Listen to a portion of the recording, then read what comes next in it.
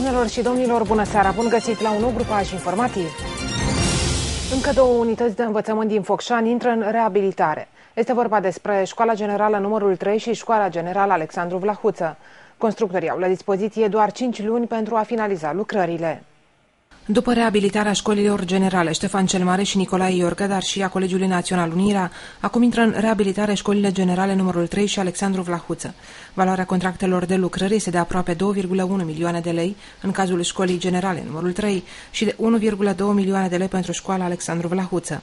Așa cum a declarat primarul Decebal Bacinski, lucrările ar trebui să înceapă săptămâna viitoare. Mâine vom elibera cele două clădiri, urmând ca Școala numărul 3 să-și desfășoare activitatea până la finalizarea acestor lucrări în două locații, o locație pe Sicleanu și o locație la uh, liceul numărul 3 pe Bulevardul Revoluție, strada Revoluție.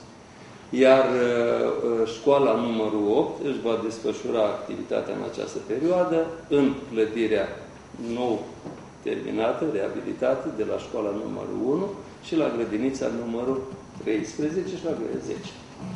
Sunt uh, suficiente locuri pentru a crea cele mai bune condiții desfășurării procesului de învățământ pentru toate aceste unități.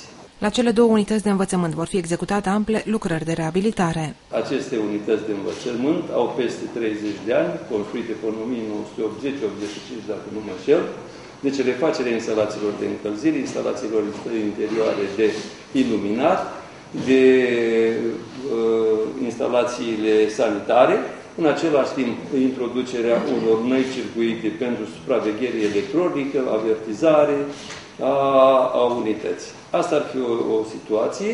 Uh, la școala numărul 3 nu vom umbla la acoperiș pentru că el a fost realizat în condiții foarte bune. Vom merge la termoizolarea clădirii. Același lucru este valabil cred, și pentru școala numărul 8, unde termoizolația am făcut-o. Cred că vom, um, uh, lucra, vom umbla numai la culoarea clădirii. Acolo unde este cazul să înlocuim tâmplăria de termopan, o vom face, pardosel, zugrăvel, vopsitorii și o anumită sumă pentru dotării la aceste unități de învățământ. Cam în acestea uh, vor consta lucrări. Termenul de finalizare a lucrărilor este 15 decembrie 2015. Trupul comisarului șef Tomiță Lazar este încă de negăsit. De duminică seară, scafandrii, pompierii, polițiștii, jandarmii îl caută fără încetare. Pompieri din cadrul Isu Vrancea și Brăila caută trupul comisarului șef Tomiță Lazar, unul dintre cei mai iubiți și apreciați polițiști din cadrul Inspectoratului de Poliție al județului Vrancea. Tomiță Lazar a dispărut în apele Siretului duminică după amiaza, în timp ce încerca să-și salveze fica de la NEC. În zonă a ajuns și un elicopter din cadrul Inspectoratului General al Aviației al Ministerului Administrației și Internelor, care a survolat zona. La căutări participă jandarmi, polițiști, pompieri. Proprietarii a două bărci private au ajutat echipele la căutarea trupului comisarului șef.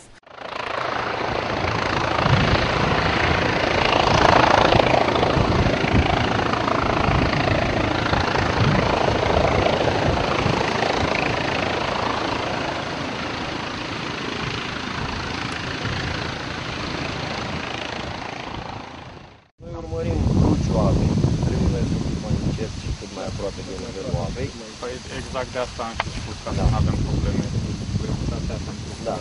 de bine de rău, așa pe cumpuri îl lansezi, iei viteză și te duci, dar da. când e vorba de manevre la viteză mică și la alte cele, nu-ți mai ajung motoarele. Da. Și ne vedem la televizor. Da. Mergi ușor pe luciu apei, dacă se observă ceva, deci persoana respectivă a avut doar short pe el, era în la, la, la, Păi o să stai tu pe o parte și colegul nostru pe partea cealaltă. Au uh, intrat în uh, locul unde a fost văzut ultima dată, au fost puși în temă și cu eventuale pericole care ar putea aștepta și continuă căutările până, într-un caz fericit, la identificarea celui care a dispărut.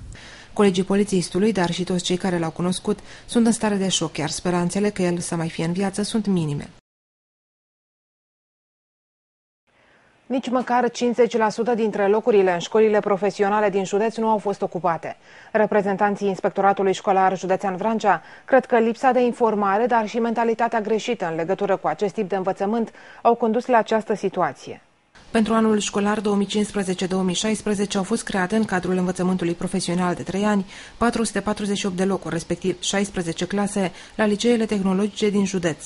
Clasele au fost realizate în special la cererea agenților economici din Vrancea. După prima sesiune de repartizare a elevilor, doar 208 locuri au fost ocupate, mai puțin de 50%.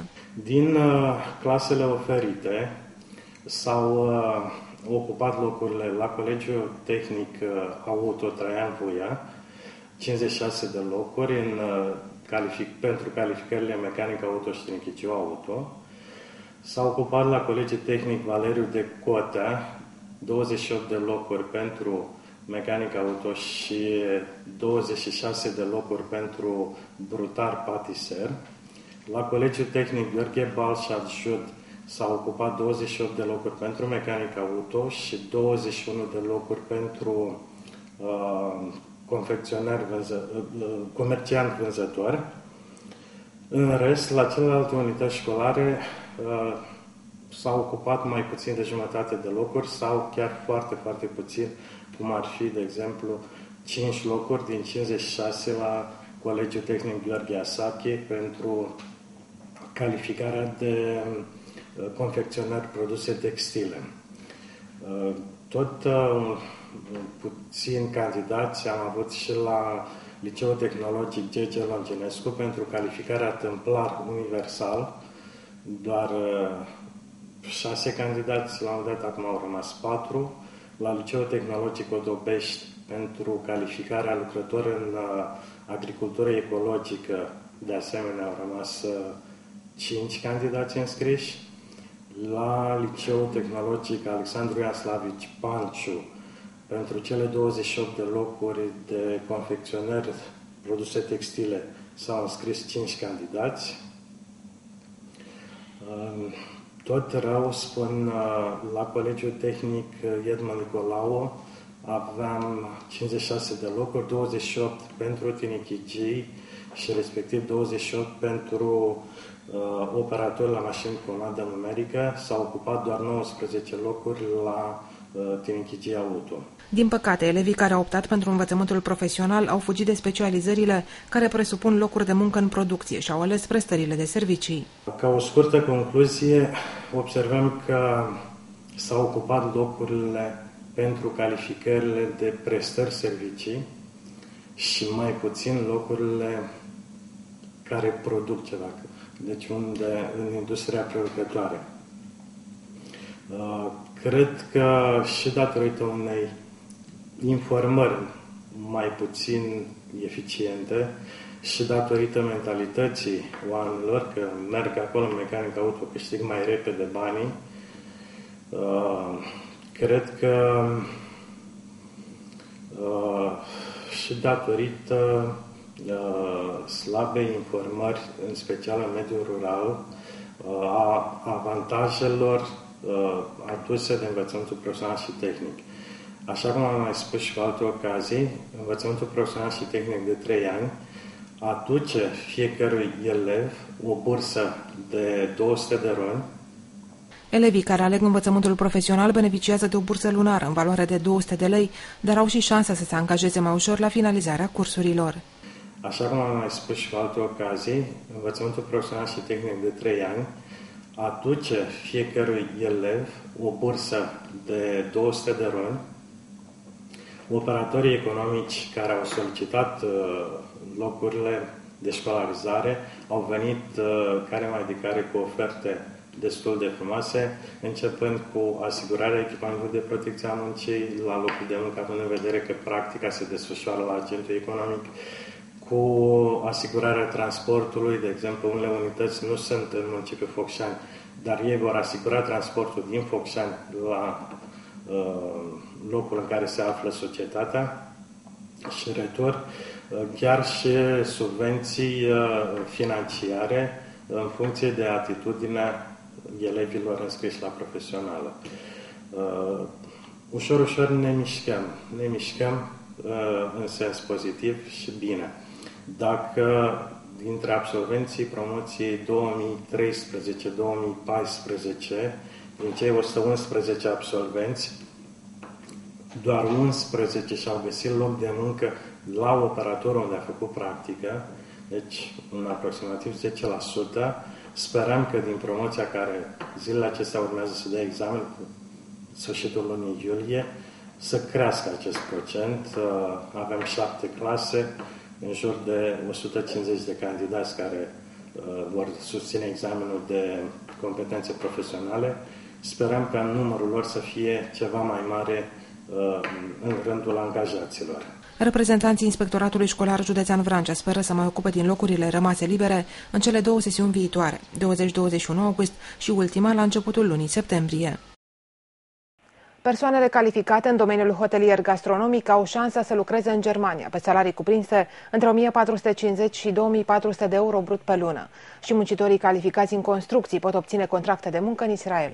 Sunt disponibile 50 de posturi pentru lucrătorii calificați în domeniul hotelier gastronomic care doresc să desfășoare o activitate sezonieră în Germania, pentru ocuparea cărora se va organiza selecția la București în luna octombrie 2015.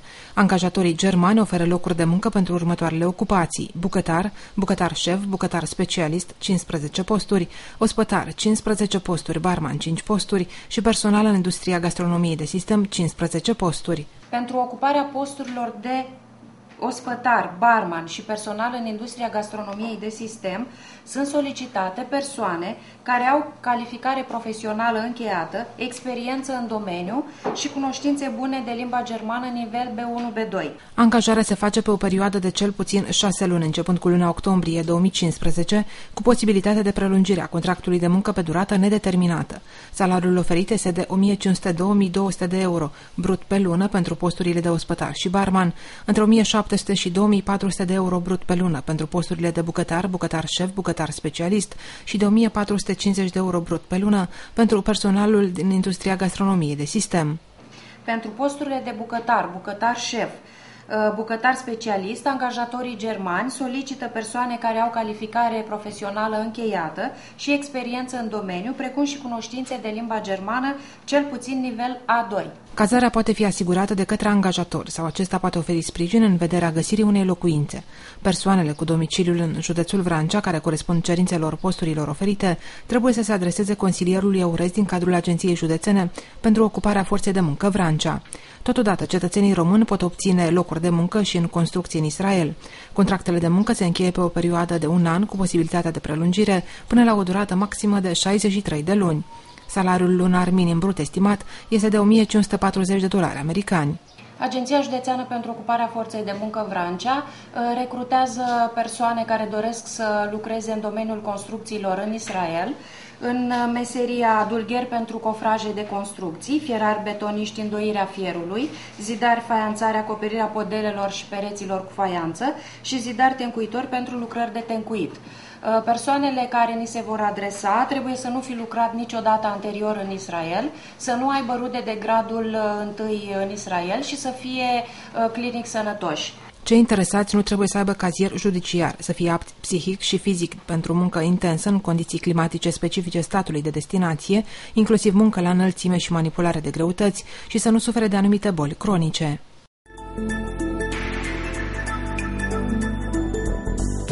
La final vă prezentăm prognoza meteo pentru următoarele 24 de ore. Vremea se va menține caldă, caniculară chiar. Cerul va fi mai mult senin, iar vântul va sufla în general moderat. Temperaturile minime se vor încadra între 19 și 21 de grade Celsius, iar cele maxime între 33 și 35 de grade. Cu datele despre vreme, punem punct știrilor Atlas TV de astăzi. Vă mulțumim pentru atenție, să vă sparte de o seară cât mai frumoasă. La revedere!